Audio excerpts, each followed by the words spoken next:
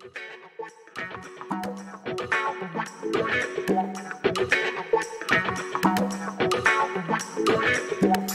guys, welcome to my second video of object oriented programming and in this video I will going to explain about what is object, what is class and what is real world object and comparing it with software object in object oriented programming. So without wasting any further time, I will start the video. So what is written here? It is object. What is object? So object basically you all know what is object. Anything our surroundings, everything is object living humans pen, pencil, table, chair, TV, laptop, etc. These all are object. So object oriented programming is compared with real world and this object is not similar with that. Every object has some characteristics and behavior. So in object oriented programming characteristics is compared to data and behavior is compared to functions.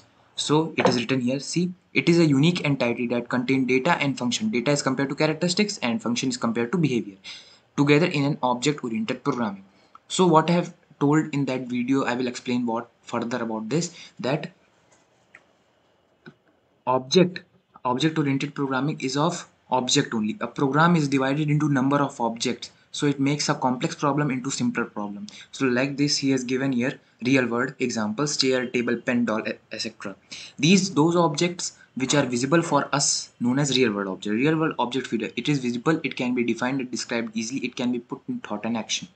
So we can see we can touch it we can feel it. It can be defined as described and easily. So can we can define what is pen how it is made it has it is blue or black it can be put into thought action. We can feature that thought. Means we can write by pen. We can write we can play with doll. We can keep books on table and chair. So let's move to further. What is object and class? I will explain other. So this here it is given categories of object. So there are different categories of object here real world. These objects can be divided into one of the following categories tangible objects so which can be touched we can feel we can see that are tangible object chair computer now come to software in that particular topic come into software conceptual object. We are making a concept. We are not we cannot see we cannot touch but these are basically are intangible object. These are intangible object in exist conceptual entity you may or may not be able to see them but you can touch them. But you cannot touch them sorry. Example an email or bank account so an email it is made up of softwares. We can we cannot we can we cannot see the inside structures of email but we can read what is email and we can take when we go to bank account we can take money or insert or deposit any money. We cannot see what the function are going inside the bank account on email. So what this is called concept. They are building a concept of email or bank account by we can easily feature our function. Roles roles played by people such as student a teacher or clerk so we play a role a clerk, a teacher. A teacher describes a topic. A student writes or complete hit notes, give exam. So we are the role. We are the role players. We play the role on these object. We use that object as our function. Events. An event is something occurring in a system or an organization, a sale or purchase in one store. So event.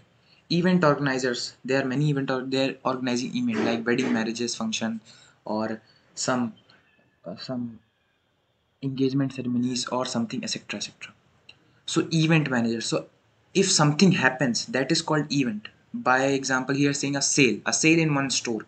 We going to some purchase we give money that are called event. And event occurred at that particular destination.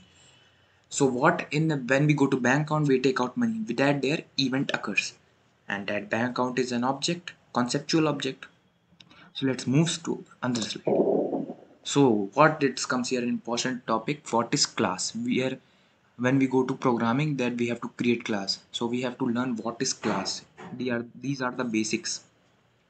A class is a blueprint for multiple objects with similar features. So what is class mainly a class with similar features. Like example take our school we have many classes. And what in first second third fourth fifth like these all classes are divided. In first class same age. Second class same age. All uh, ages are same. They not differ from each other.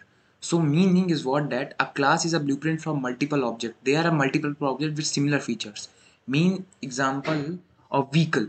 Vehicle. They are different kind of vehicles. Truck bicycle sorry bicycle not truck car. These all are in that same class only of vehicle but they have similar. We put gear we put gear in also in truck and car and we drive by we drive also in car and bike. They have gears they both have gears. So this is the example of a class. It is called object. Why it is called object factory? It is a very interesting question. What is object? Why it is called object factory?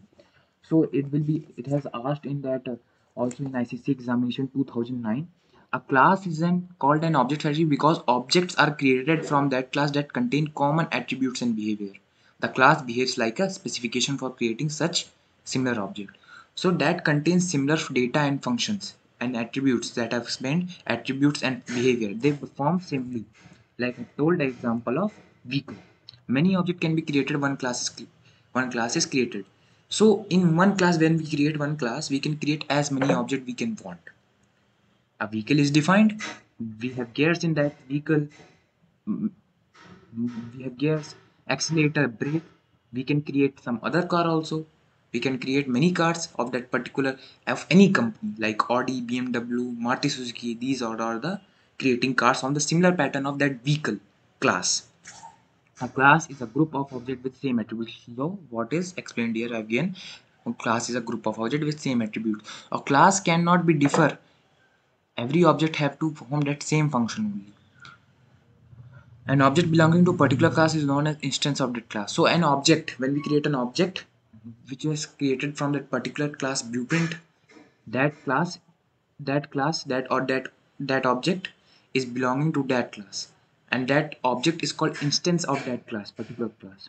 So remember that is important point. Move to another slide. Real world object and software object mapping.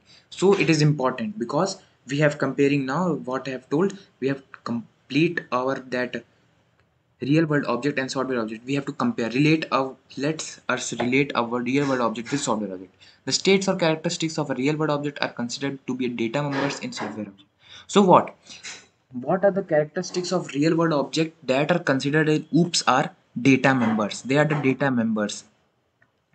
In same way the behavior in a real world object are considered the function. So the behavior they perform they are considered in oops are functions or method. And I've data members in coming upcoming chapters they are integer double string. These are the data members. Real world object examples. This is important. Book book has characteristic chap chapters pages and topics. Is used to read used to prepare notes. So now we have to compare it with software object. Student. Student what we are data members? Student what is the name of student? What is the class of student? What is the marks of student? And what its behavior is? Epic data. Sorry accept data. Display. I in other slide it is more briefly described. So here attributes member or instance variables so compare that real world attribute with another name in oops member or instance variables. Behaviors member methods or member function state value of variables. Value. Example we have taken an integer type data. So data member. So we put the value of that 4 so we are containing int a is equal to 4 so that a has the value of integer value 4 example table. So table here i have considered an example as table. Member variable lex. It has lex. Its member method is lex. So how many lex is as that we have state defined as state? This 4 is state value of variables. Lex is 4 that is value. Member methods keep books so member method what is the function? Keep books. It is keeping books. We have defined as a function. And this what is that function by bracket it is represented as function.